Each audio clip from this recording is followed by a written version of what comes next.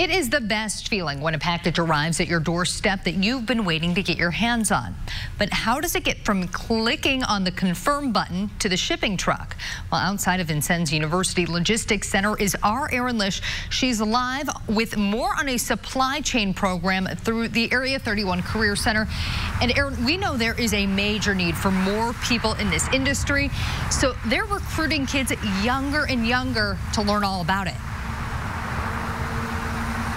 They really are. And, you know, over in Greenwood, Amazon's already asking for thousands of new employees at their packing center. Again, uh, Hoosier Logistics also adding some new jobs in this industry. And students, they're taking notice and hoping to step into those roles.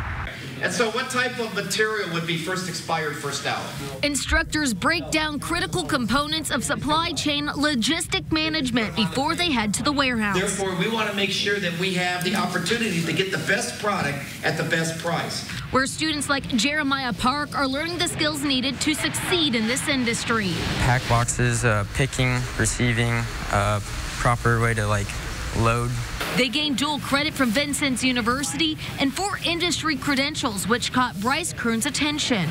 You make a lot more money if you have certifications like your forklift license and stuff. So it just kind of made sense that I can get this before I even leave high school, before I even get in the workforce. Senior Michael Wilcox says this program is a big eye opener. We go around, we take tours of different facilities, it allows me to connect to what re the real world is. Unlike there are thousands of job openings in this industry here in Indiana, according to those in logistics. And there's more and more employers coming to the area. There's more and more people purchasing stuff online.